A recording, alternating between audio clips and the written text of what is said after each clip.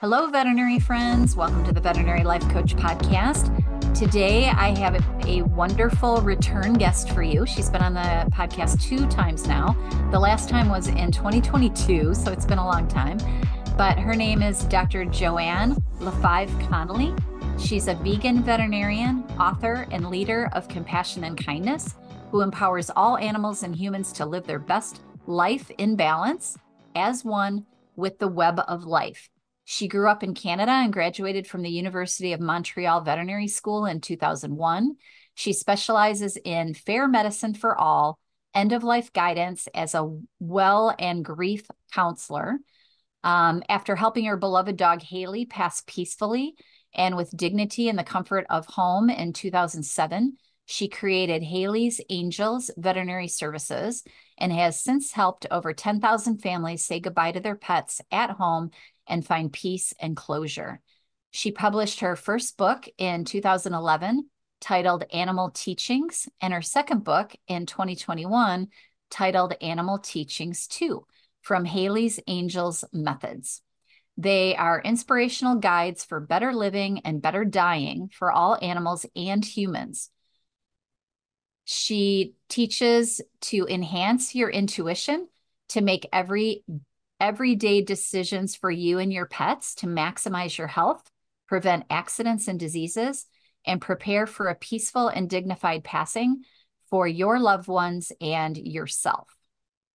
She teaches um, animals on the path to live a meaningful life in harmony and balance with your world. Her mission is to redefine society to create a new, better normal for all animals, humans, and our planet. Oh, welcome to the podcast, Joanne. I think Thank I stumbled you. over yeah. a couple of sentences there, but they were written as exhausting. Were, like, like I'm trying to change the and, world. yeah, oh, yeah, you are going to change the world. You are changing. busy. yeah, that's amazing. No, that's great. I love it. And you know, if people haven't heard us talk before, we've had two other podcasts together. So if they want to learn more about you, they can go back. I'll have to get those numbers and put them in the show notes um, so I can tell them which ones to go to. But anyway, I'm so happy you're here. And you um, we're just going to yeah. kind of, I think, kind of go all over the place and learn more about you and, and what we can do for people to help them love veterinary medicine more, right? Yes, that's the goal because um, it's quite the journey that we signed up for, but we're well worth it. Well yeah. Worth well, well, you started in one place and then ended up where you are now as kind of your own unique niche. And that's kind of what I encourage people to do is find find what they love about vet med and um, make that their career instead of you know suffering in silence and just doing things that we think we have to do right i i agree we're definitely in this time where we can choose and choose not to do certain things and then choose to do what feeds our soul and what we're better at and and that's really what life is about feeding our souls every day. Like so work is not work. It needs to be uh it needs to be the labor of love and we need to love what we do and going to work because otherwise it's it kills us you know literally. Yeah.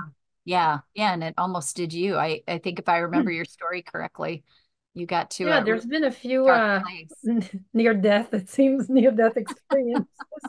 But I, here i am again and every time you know like every time i feel like oh god like this is there we are again um i get a break i get to recenter the universe like seems to the stars align and like okay next chapter better more me and you know being you like that's that's it really try to be you in your life that's yeah. the best advice, you know. That is great advice. Yeah. Well, let me start by asking you what what it is that you love about veterinary medicine. So, you know, I think the best thing, really my top one, is that I get to work in my PJs because scrub suits are the most comfortable, simplest clothing. You don't need an ironing board. I just love to roll out of bed, put on PJs, you know, my scrubs, go to work, and we're yeah. done. I mean, it just life can't get any easier than that. That is a bonus. Yeah. we can dress in scrubs every day. Um, but I do love um making a difference in people's lives. And I'm realizing as I'm getting wiser, you know, um, it it can be really simple to make a difference. And we don't have to spend you know, a thousand dollars every time, running a thousand tests, sending everybody to the specialist, because um, that became the trend, you know, with more specialties um, being created. So when I started 23 years ago, there was no specialty, or there was like a few board certified orthopedic surgeons. Um, but I remember working with one of them who was the pioneer. So he was there was no board certification when he became a specialist. So he helped create the specialty. Right. So things have changed a lot and we are we all feel like forced to refer and do this and do that. And um, but honestly, we we can help, you know, we need to remain fair to the animal. So that's like to me a big lesson for our profession. Um, we really need to treat the animal, the patient, not the disease itself. You know, if you have a 14 year old pit bull that's already amazingly alive still, and okay, might not be perfect, but comfort is the key. And don't let's not kill him under anesthesia. You know, like trying to really let's Balance not torture. Yeah, yeah, yeah, medical torture and avoid with the unnecessary thing. So that's I love to be able to do like preventative medicine or again end of life and really just being fair to the animal. So that's probably my biggest passion, putting it all together and being balanced all the way from puppy yeah. to end of life. And how how would you say you avoid? I mean, I know now because of what you do, you kind of has have designed your own job, but how would you avoid that fear of not pushing all of the tests and all of the specialists because that's what a lot of younger veterinarians are afraid of is that they'll get a board complaint or you know, I think veterinary medicine has gotten um, harder from that standpoint. So how would you encourage people to just look at what the animal needs and the and the client needs more than what you know school told us we need to do? So, and in the last couple years since we spoke, I have shifted a little bit to doing a little less euthanasia and a little bit more hospital work because I missed it and opportunities came up.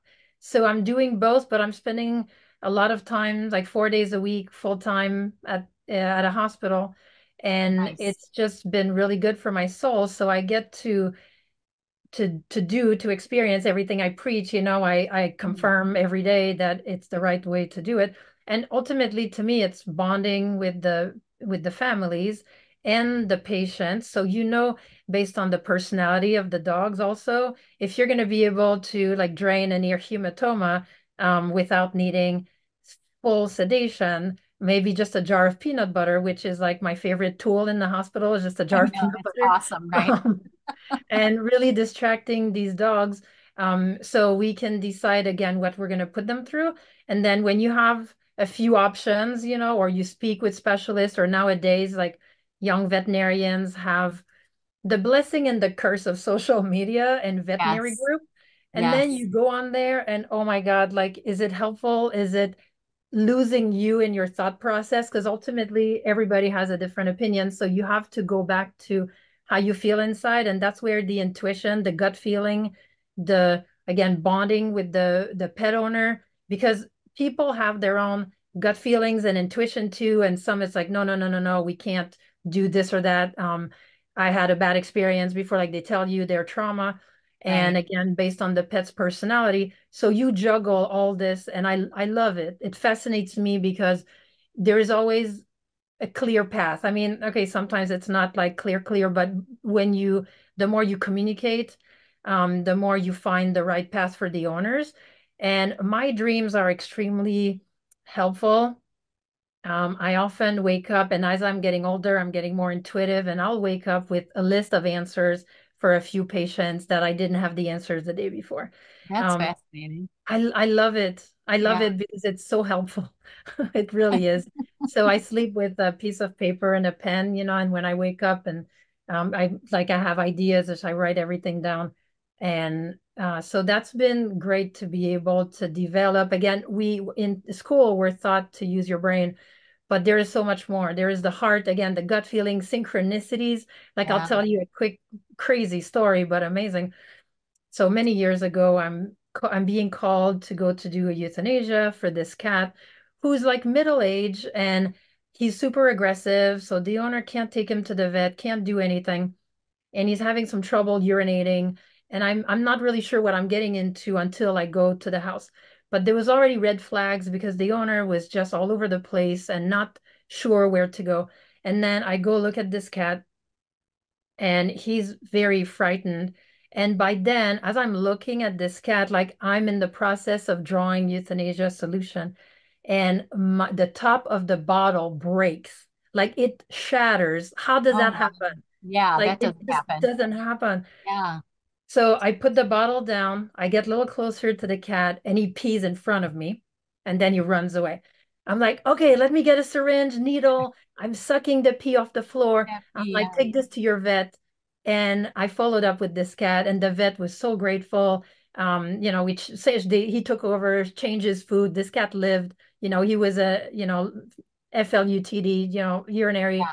issues, but um, yeah, he didn't have to be euthanized. And like I was, I'm still having goosebumps. We're so close. Yeah. So those synchronicities happen all the time where I'm getting guidance and really listening to what's right, what's not right. And people also often will have, again, their own synchronicities, you know, um, seeing like wild animals, bringing them messages, or like, oh, I saw a cardinal bird this morning. When I see a cardinal bird, that means my mom is watching me from heaven, telling me, you know, this is the right decision. Or so we find peace and ultimately how do we make decisions between the heart, the head, the gut, is whatever you find peace with, and then the the flow of energy, like everything just happens, like it's clear. The path is there's no obstacle on it. And um and then I follow up, you know, on these patients where sometimes you just don't know, you go on on a gut feeling. So another crazy story is when I worked at the ER. Um, this cat came in to be euthanized. She had already been seen by another vet and um, she had a foreign body. They were suspecting well i could see the string stuck under her tongue. And the people had no money to do surgery. And but this was a young cat and i'm in the room with them and they're bawling like they're a young couple and they're talking to me about this cat that's like it has a mom vibe like this cat and i'm sitting with the cat and she has a mom vibe and she's so full of love. Like it's not just losing a cat, it's losing like a family member. Right. So I right. tell him, I'm like, you know what? I can't do surgery, but if I'm going to euthanize her and I'm going to sedate her before I euthanize anyway, let me use safer drug to sedate her. And I pulled, that's what I did. And I removed the string from under the tongue. So at least she could swallow it. Right. And I just like, we had a nice little ceremony, like everybody, like my staff we all like we were I was massaging the belly of this cat. We were all like imploring all the gods that we believed in. And it will like, pass. Make yeah. this cat pass this string. And sure yeah. enough, she did. Two days later, she was back to normal. And again, goosebumps, you know, because of course, right. then they could have sued me for malpractice. I might have made this cat suffer two more days, but I, right. I told them, I'm like, this is all I've got here, but we have a chance, and I just don't feel right not giving her that chance. And hopefully, she doesn't die in two days of more suffering. Right. And he pooped the string. yeah. Yeah. Well, yeah. and I love what you say about trusting your gut because I believe that medicine, a lot of it is an art. Mm-hmm. And you, you, from your past experiences, you have, you have ideas of what you could do from, um, you know, obviously your training, you have a lot of ideas of, of what you can do. But if you do trust your intuition and you communicate well enough with the client, yeah. you can save a lot of pets that you wouldn't think that you could, you know, with the gold standard medicine. And yeah. you take it, risks. Yeah, it is a little risky, so right? deep down that mm-hmm. you go with it and you hope yeah. for the best. And it's been a lot of successes. Like I can't even think of one time I felt like, oh, I should not have followed my gut. No, because miracles happen. And if you have like 10 animals, you're taking them all for surgery, they all have the same disease. You all have 10 different outcomes. Yes. So that matters. And so we can't just treat the disease because again, results varies based on the animals, karma, life purpose, right. the bond yeah. with their owner. When are they due to go back to heaven? You know, we don't control that. Yeah. So it's it's fascinating still to this day. I think that's what makes me the most uh, excited about my job is because I can really tailor it uh, and and filter through my own, you know, like I don't have, luckily I'm in a place right now where I don't really have a boss. Um, I'm by myself, I'm the only vet at the hospital. and I don't have that chatter that confuses me or used to confuse me when you have right. a boss. I mean, of course, you learn from other veterinarians, um, but I'm very careful going on social media because. I might have a gut feeling. Then I go on there and then I'm getting scared because people have, have other doubt. opinions. And then I'm like, oh my God, what if I fail? Um, and so to the young vets out there also, um, just making peace with the fact that you won't be perfect. Yes. But that um, you will be enough most of the time to make a difference and you have to just hug yourself because if your heart again is in the right place you're trying the best you can then let it let go of the results because you really have no control and you have to save yourself at the end so being stressed of failing stressed of like you can't survive being stressed all the time of not making the right decision that you have to be fearless um, and just uh, be so passionate that at least you're trying your best. You've read about things, and at the end, you just wing it the best you can because you don't know if if that fracture will heal without surgery. You know, you're it's a puppy. Hopefully, it's going to heal fine. Um, and that was another that was another crazy case that I can think of.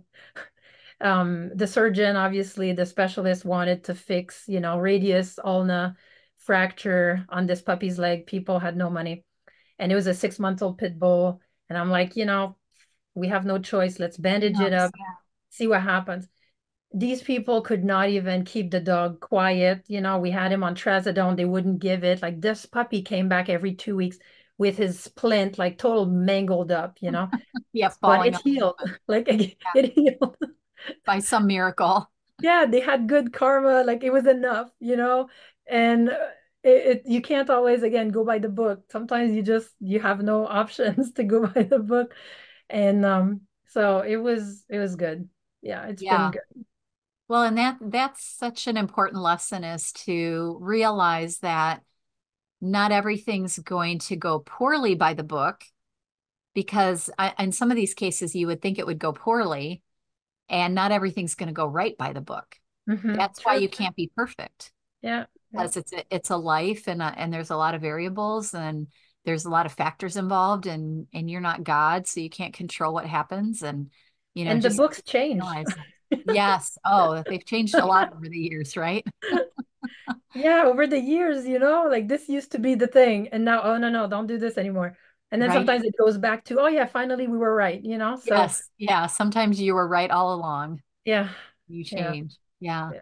So, what's a big life lesson? I mean, I know that's a big question, but and you kind of talked a little bit about some of that, but what, do you have a a case where you learned something really profound that you want to share? Uh, so a couple of life lessons, but um, so we talked about the fact that we all we all will die. So dying with comfort and dignity, that should be the goal, limiting suffering, knowing when to let go, you know. Um, yes. Um, and then taking good care as good care of yourself as you take care of your patients not forgetting your own self um, so that's another big one um, and ultimately i think my big my best realization uh, most profound is that the shared love for an animal between the pet owner and the veterinarian it can make um, any two people bond you may have nothing else in common as human beings but you both love that animal. And yes. the pet owner wants this animal to live as a veterinarian, you want this animal to live and you bond. And that's the only thing you bond. Like if you start talking about anything else in this world, you will disagree. But yeah. the fact that you can um, create magic. And when I go to people's homes, I see exactly, you know, what they're about. And like um, one of my most amazing euthanasia, I was me in a group of about 30 uh, bikers, Harley Davidson bikers. And this yeah. dog that I was euthanizing was riding, you know, had ridden for years. Um, I, they showed me pictures like on the front of the bike, wearing the goggles. Like this dog was their oh, mascot. Yards, yeah. And this dog held this group together, you know. And I felt like one of them. I was I was so out out of my element, but I was so the right person to be there and it was it lasted like we were there for two hours we're outside bonding we let this dog you know run around like stumbling around you know ate favorite food like it was such an amazing celebration of life Um, there was one of the biker who was a pastor also. So it was like a little ceremony, a religious ceremony. We were all holding hands. Like it was beautiful. And we ended up making clay paw prints for everybody there too. So I made 30 wow, clay 30 of them. and it was it just made me feel so good. Like it made me feel like a chameleon. Like I could fit in any situation. Because I've had other euthanasias where again, like um, we might not relate on like everything, but we love this animal and it we made it go perfect and it was divine. And I love yeah. it. I love it yeah. it. Well, I think it's such a privilege. I, people ask about this a lot when you're a vet about the euthanasia thing, you know, and I know you do that for a living. And so I know you see the value in it and you see that it's a beautiful experience.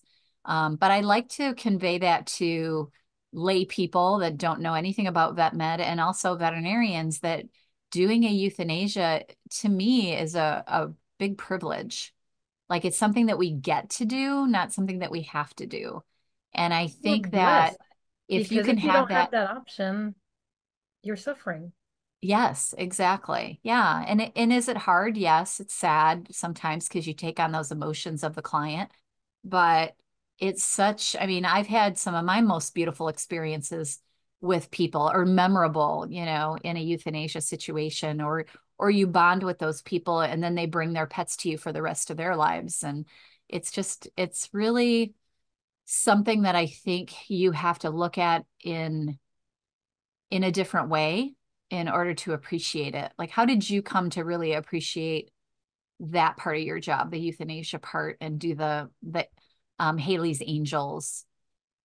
Well, again, I felt like it was a privilege to die with dignity and not to suffer. Um, so it was a no-brainer when Hayley, who was 14 years old, had trouble breathing. I'm like, well, what op- what other options do we have? Like she's at the end of her life and loyalty. These dogs are so loyal to us, our our animals, that often they won't let go. You know, they fight for us. Right. And even if you tell them, yeah, it's okay to let go, I mean, some pets won't go. So having the privilege to help them, it's huge.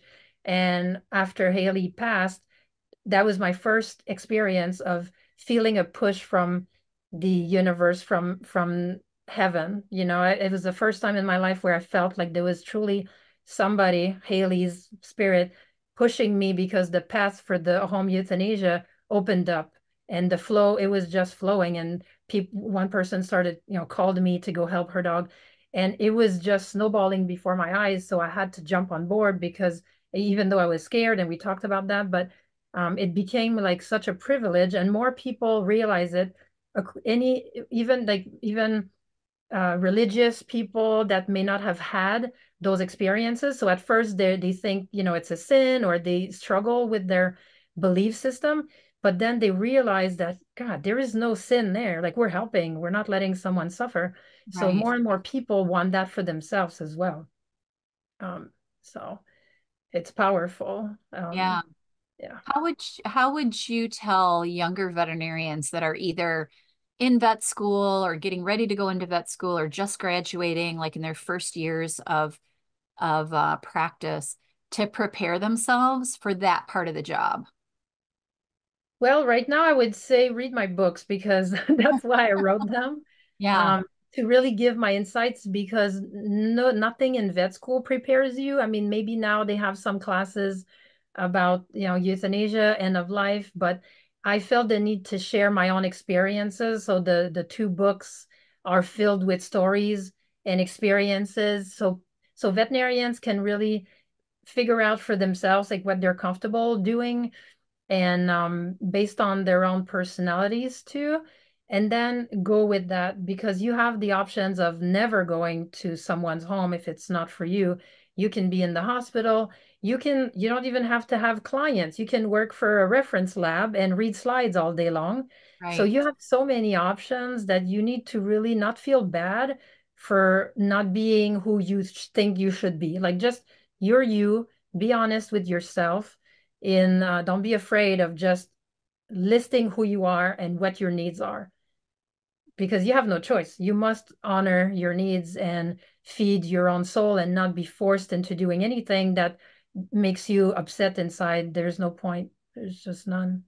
Right, right. And you can write your own life story. Like you can decide what you want to do.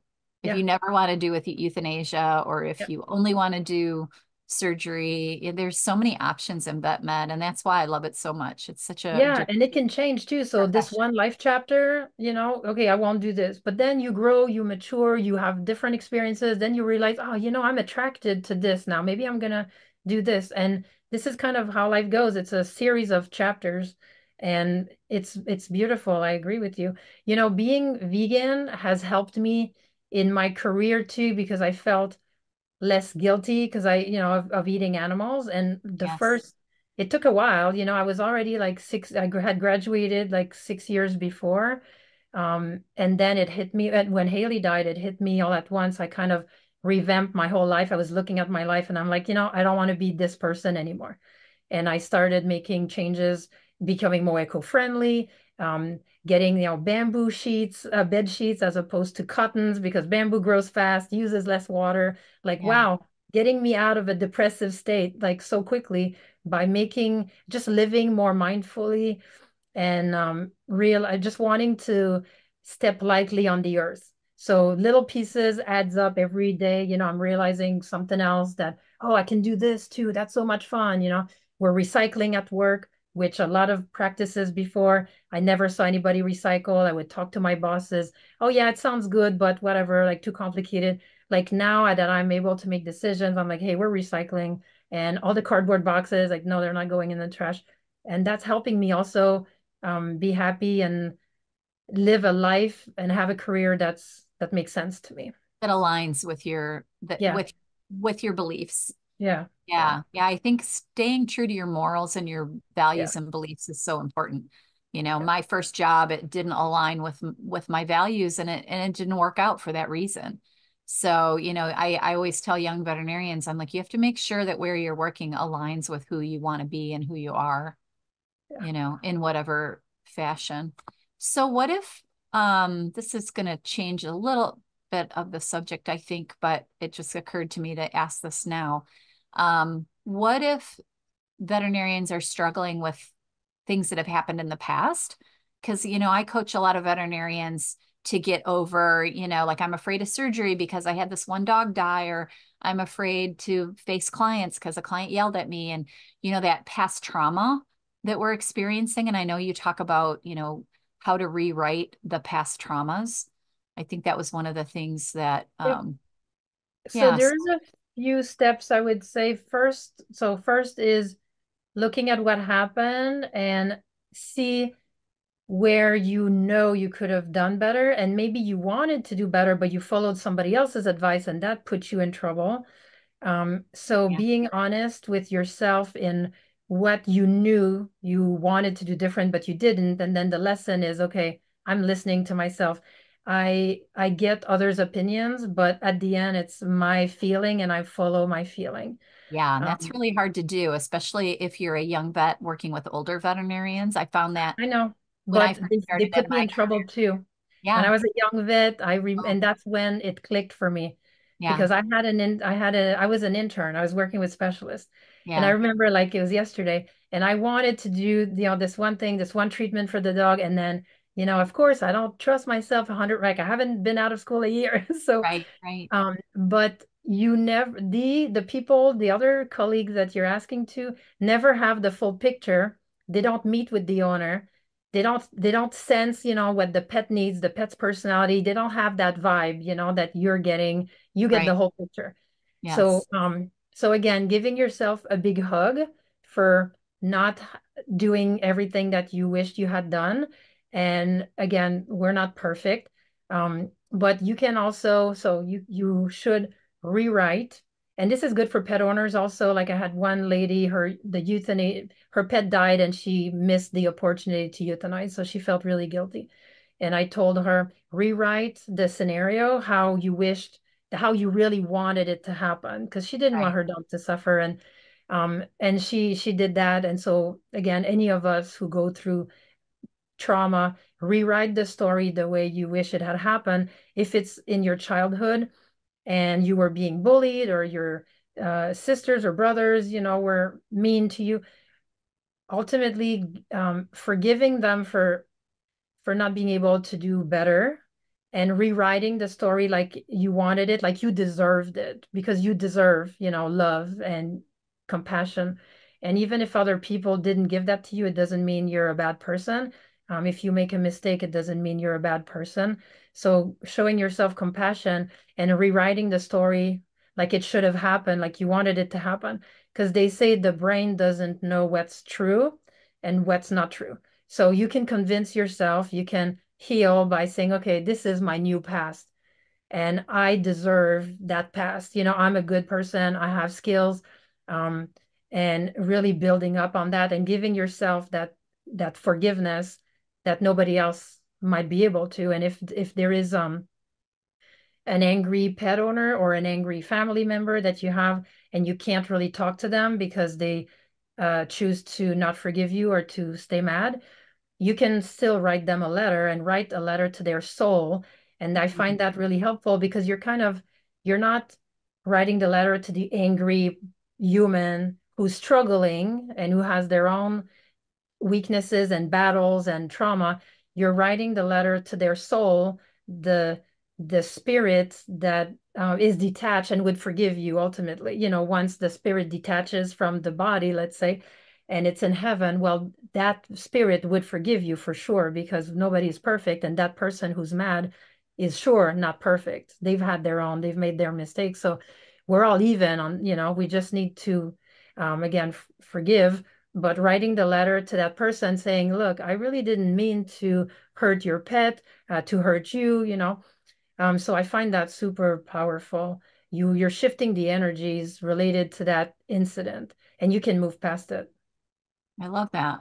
That's that's really a good exercise, I think. It, I've not heard somebody present that, but I think that would be very valuable to, you know, just kind of a good way to let it go and, and change it. And also if uh, the person or the pet uh, is passed and, you know, you have guilt again or any uh, conversation you couldn't have, you do the same thing. You write the letter to that pet if you feel like you failed this animal, you write him a letter. And of course, you're going to get some synchronicities, some dreams. You know, you're going to feel that this, this pet is forgiving you because you've tried your best. You've given your soul, you know, you've, your heart was in the right place when something bad happened. But um, you, and you're learning from that because that's what life is about. It's learning and growing. Um, we were not born knowing everything. Believe me, I wish. yeah. We're the hardest. It takes a long time, still. right? And you still don't know everything. No, and and we will never. It's tough. It's tough to accept that you'll never right. know everything. Right. Yeah. yeah. There's so much to learn. Yeah. So you said something before um, in in the email that you sent me um, when we were talking about what we want to talk about, and I kind of want to, since you were speaking about heaven and writing letters to your to people or or to um, pets in heaven um, about being in heaven and answering questions to help you get the most out of your life now? So that's another exercise yeah we can do um, in the sense that we remember that we'll be dead soon like just living with that pressure, knowing that some hey, of us sooner than others, right? Yes. the older um, I get, the um, more I'm like, oh, I'm going to be dead soon. so do it now. Like, yeah, who do you yeah. want to be? And right. so this this current chapter, like that, I'm spending more time at the hospital. I am, um, yeah, like fearless. I'm just like speaking up.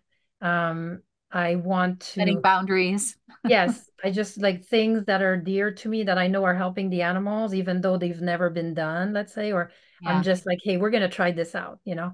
And yeah. it's a lot of fun.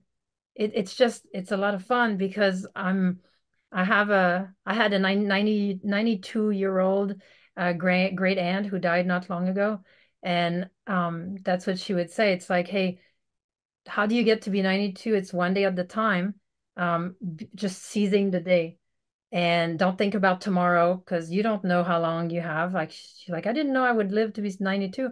Right. But it's always just giving it all you have each day, like it's your last day, and uh, being present. And um, so, any idea, don't die with your ideas. Like mm. it needs mm. to it, try it out, share it, speak up. Yeah, and, I like that. Don't die with your ideas. Yeah. That's a good quote.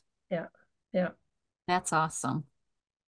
I love quotes. So when somebody says something interesting, I, yep. I love to like write that down with your ideas. Yep. So do you have, if people are not very open to that way of thinking, do you have any advice for them? How do you open yourself up to that way of thinking if you're very stuck in the worry, you know, like uh, anxiety is a big thing for a lot of us where we worry about everything that's already passed and then we also worry about anything that's going to happen that kind of like chronic anxiety? How do you work your way out of that? You have to realize that you have no control over how people Anything. respond yeah. so you could think you're perfect and you're you're taking action and you're so proud of yourself you think you're like hey i nailed this i went by the book whatever like i did right. everything i mm-hmm. and then the pet owner decides to be upset for whatever reason and you're yeah. like god can't you see how much sweat and tears like energy i put into doing this and i it looks perfect from my perspective but yeah. somebody else you have no idea where they're coming from and uh, they might be upset because of my accent which has happened a few times really yeah and they just don't want to see me and i'm like oh my god and at first it hurt me um, right because I'm like, I'm like, hey, I'm such a good vet. Like, I'm able to help your pet more than somebody with a different accent who has your right. accent, you know? Right, exactly. So it was really hard to swallow to realize that, but I'm past it. And I'm like, you know what? I am full of love and killing with kindness, always trying to um, really be proud of myself. And that's those are some of my dad's words, you know, don't worry about the opinion of others, the only opinion that matters about yourself is your own, what you think of your own self. So don't worry because you have no control what people are going to decide to say about you. And your happiness true. might piss them off, which I used to have a roommate and she told me that once. She's like, God, you're so happy all the time. It just really pisses me off. I love that. And I'm like, okay, well, yeah, thank you because it's freeing me to not bother, to not worry anymore, and to just live my life and i'm very eh, i'm a visionary you know i have yes i have crazy ideas sometimes but they all they work and so i've gotten used to being different and when people are not able to take it because it's destabilizing to them because they do need the book and all that their life will be is part of what's in the book you know they can't yeah, think like the research different things right um i'm very out of the box like there is no box in my life i'm just like I, I used to work in shelters. I mean, you have to be creative. Um, my parents are very out of the box, just, hey, try new things. Let's, yeah. It, and it's fun. I love that creativity. Yeah. It's a free spirit. Yeah. And, yeah. And again, yes, sometimes you feel like you're gonna fall off the cliff, like you're on the edge all the time. Like my life is just on the edge. Um, but it's it's great and you learn to uh I mean, it's been good. It's been positive. I've been scared many times but hey it's working out and if sometimes you you think a mistake happened like for example the story that comes to mind I, I my clients so um they brought me this dog that was really old had really nasty tumor and I could tell it was spreading already like the rest of her skin had little bumps. Yeah. But um this dog was super happy and the bad the big chunk was oozing necrotic you know it was just like sm smelling all over the house. Yeah. So they convinced me to remove it and it dehisced because it was you know really big. But so at first i was really bummed that it dehisced i'm like oh i made a mistake you know yeah even though the odds were against me completely like who right. would go into that in the first place but i just right. felt like we could I I felt Buy again the dog some time. Yeah. Yes, buying some time, quality yeah. of life. Um, so when the wound dehisced, so they were forced to come into the hospital um, on it for an unplanned visit, and the lady brought in her son. And this was the blessing, the silver lining of all this. I realized that, oh my God, thank God this wound dehisced because her son became involved. He was like seven years old and we got to talk about preparing for euthanasia we had to we got mm-hmm. to talk about so many things it right. prepared this the son to losing his dog this and dog, if the wound yeah. didn't dehisce we would not have he would have been taken off guard um, right but so again few weeks go by and i ended up at their house and it was the son's birthday and like the timing of everything and this this kid you know this child was zen and i was looking back at okay me beating myself up for making a mistake this mistake right. needed to happen it opened needed the door there, to so yeah. much good these yeah. people were so grateful like it, from their point of view i went i was perfect right you know so it just shows you how yeah judge yourself as hard as you want but you have no control and so be kind to your own self and just let things go. Uh, yeah the way just being happened, open to what happens. Yeah yeah yeah. yeah. Tell me your horse allergy story because this is something that you kind of mentioned and i was like really? I want to hear about this. So so i've i you know i grew up with my mom being a naturopath and always searching for answers about why we get sick why accidents happen to different people different animals so i talk about those things in my books and i grew up with really bad horse allergies and when i was in vet school i could barely finish my rotation like my eyes would just swell up, tear up, my nose would be all congested, runny. It was terrible. So I'm talking to my mom. Uh, we're having casual lunch and we're talking about God, you know, why am I having such bad allergies? And I see because I'm, you know, become more intuitive. So I see in my mind this short um, movie of me living as a Native American and watching white men capture wild horses, our wild horses. We lived in a tribe and I burst into tears. And it was like, this was part of my past, not in this lifetime, but right. in a previous life. And I have a lot of my lifestyle in this lifestyle. Like I relate much more to the Native American lifestyle. So I'm always, you know, one with the earth. And um, so it made sense to me. I, I believe strongly, like I feel it in my the deepest part of my soul that I did live as a Native American. Um, so the the movie that I saw made a lot of sense that this was why I became allergic to horses because every time I see a horse, my my um, sub my subconscious mind is reacting to again crying crying, the emotional shock of being separated from these wild horses that became slaves. Yeah. And it would be more even. I started like if I saw horses in stalls, you know, prisoners, like I would react way more than if we, the horses were outside. Interesting. Free. Yeah. So I my allergy stopped that day. Once you realize that. I yes. Um and I be so I knew my whole life I knew I was gonna adopt a horse and um, the time came after we talked about it, after we moved from Arizona to Florida, and this horse found me. And my neighbor, first time I spoke with her, she's like, "Hey, I, are you ready for your horse? Because I know who he is." And everything kind of snowballed, and I was never allergic to that horse. And but I needed a horse. I needed to to heal some more from that trauma.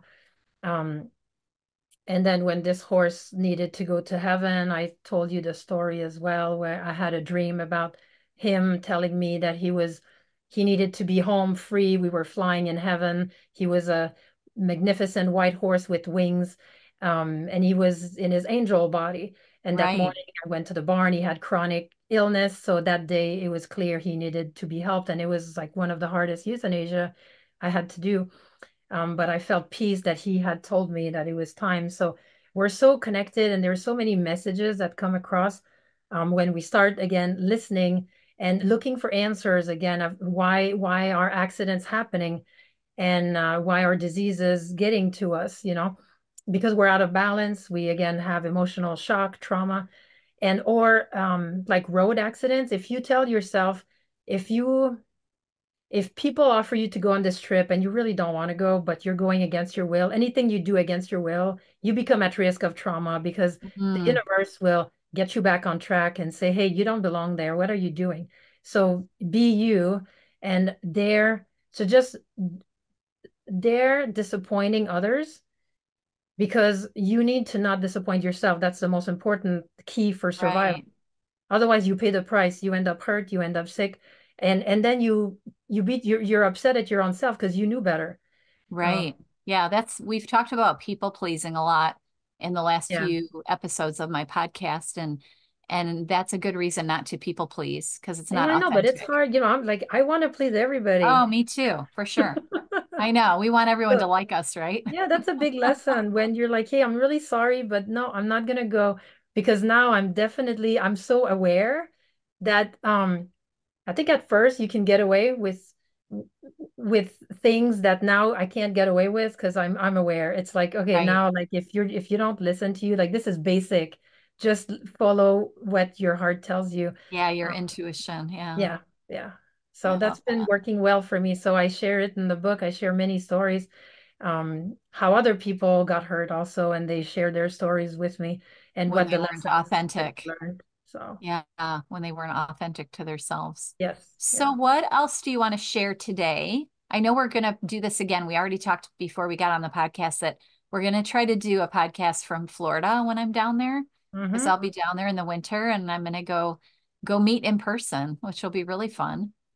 But hey, then you'll see um, you know, when I talk about balance, um, your environment needs to suit you as well. And it, it might suit you for one life chapter to live in the cold, let's say, but yes. maybe Florida will hug you so tight and won't let you leave. Um, and it might become, okay, new chapter. This is my new me, you know? Yes. Um, so it's important. Yeah, that was that's a struggle for me still because I've only been down there the last couple of winters for a good chunk of time you know, I live in Michigan and it's miserable here in the winter. So there's really no reason to be here if you can have the opportunity to go south. But um, but you're right. It's the chapter and the you know learning to belong and accept where you are and make the best of it kind of thing. Yeah, because I have a lot of friends from my hometown who thrive in the winter. They feel alive, which was totally not me, and that's why I had to leave. Yes. But if you like snowmobiling, skiing, you know, like sure. some people truly come alive. They go camping and minus yes. 40 degrees. In the cold. I know. Not for me. So um yeah, just figuring out where you belong now in this chapter. And then the answer yes. can change as you grow and get older. Um but I find that fascinating. So I talk about that too in the second book. Um, there is a lot of questions for people to answer to really assess where they're at with their own life and making sure we don't lie to our own self because in order to please others because that's always the yeah. Yeah yeah people pleasing yes, uh, is a lie right? Yeah. And saying yes when you really want to say no is also a lie. Yes. Yeah. So do you i know you have you like quotes. Did you prepare some quotes for us yes. today? I've got like quite them. a few. So okay. um, my dad is uh one of my greatest source of inspiration. So I'll start with a quote from him. I love that. Is your dad still with you? Yes. Awesome. That's great. yeah, we uh, he's awesome, really. Yeah. Um, I love that. we have such a good relationship. So um he uh he does not um he does not fit in the box and he lives on the edge 100%. So I learned really? a lot watching him go. So you came by it naturally. yeah, and he loves to travel. So yeah, I'm just the yeah, the the logical, you know, next step that would right. come out of somebody like him. But yeah. So his quote is all the rules and laws can be changed because they are all man-made. So common sense common sense must prevail. They're changing anything that doesn't make sense in this world. oh, that is a good one. That's awesome. Yeah. Um and then second quote is life's greatest victory is to fall in love with your own self, mm. uh, with all of yourself, your mind, your strengths, your weaknesses, your unique traits that make you think you're crazy or different, you know, your body, all the billions of body parts and cells that work together to keep you alive, just fall in love with all of it. Um, yeah, I think that's really life's greatest victory. Yes, that is. I agree. Um, and so being alone doesn't have to feel lonely. I like that because I'm a loner and um, I, I do my best thinking, you know, again, it's good to be around people, but then right. you have to really center and then decide, okay, this is which where I'm going. Right. And you can only do that when you're alone. And again, it doesn't have to feel lonely at all. Um, it's powerful to be alone. Yes. Yeah. Um, uh, your only competition should be with yourself to be a better person today than you were yesterday. That's it. Yeah. Don't try to impress anybody. Just try to impress your own self. I love that. I think Jordan Peterson says something like that, but it's basically like competing with yourself, not others. And, you know, not, I think the social media is get, is what gets us to want to compare to everyone. And it's yeah. so it's so not useful. No, it's not. Um, because we all come from such a different place. And so that leads to the next quote You are the hope and the dream of your ancestors. And I love that. Hmm, that's a good one for you, for sure.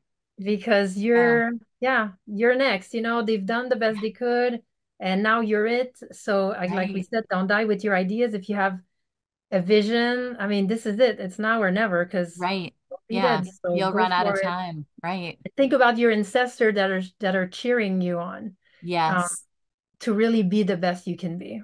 Yeah that that's really powerful because if you even if you think back like one or two generations we have have so much more than like my grandma who had to quit school in eighth grade because her dad made her work on the farm.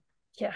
And she always was sad about that is yeah. she wanted to be a nurse and she could never yeah. be a nurse. And she used to say that to me. So when I w- became a veterinarian she was so thrilled. And it's just you know she was only my, just my grandmother you know it wasn't that long ago yeah so yeah, yeah that's amazing and my last quote is um, we are the animals biggest threat and also their biggest hope so you decide which one you want to be the animal's that. biggest threat or their biggest hope biggest hope yeah. yeah. Yeah, I should talk to you about my turkey problem that I'm having in my backyard. mm-hmm. Well, I have a flock of turkeys that has taken over my backyard.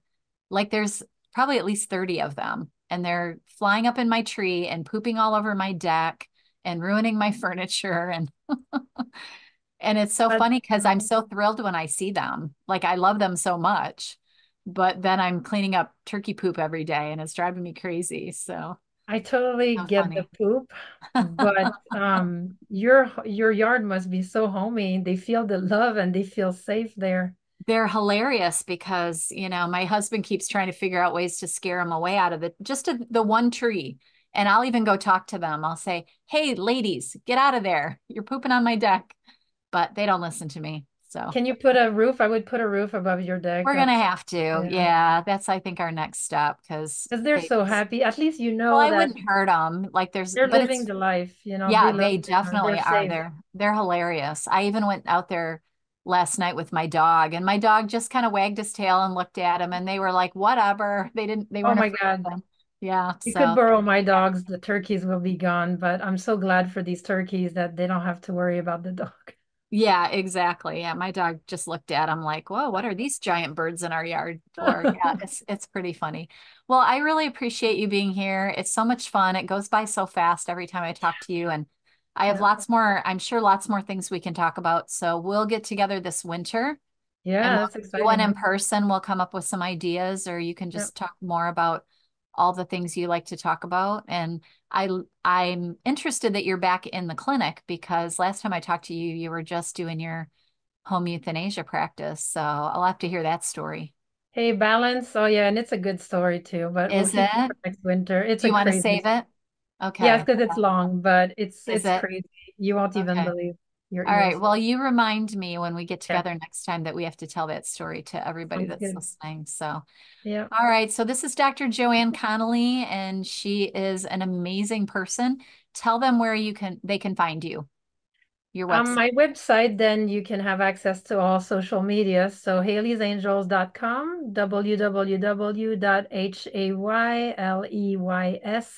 hayley'sangels.com, www.h-a-y-l-e-y-s-a-n-g-e-l-s.com.